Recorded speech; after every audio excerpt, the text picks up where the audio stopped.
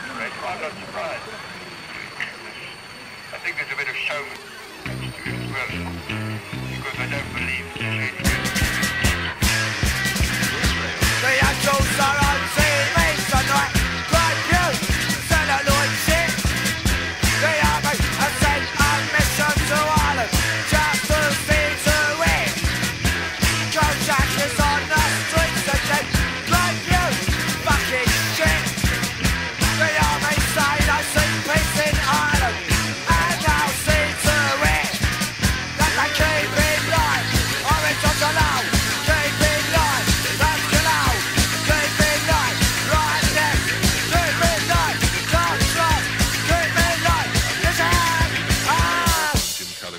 disastrous for Britain.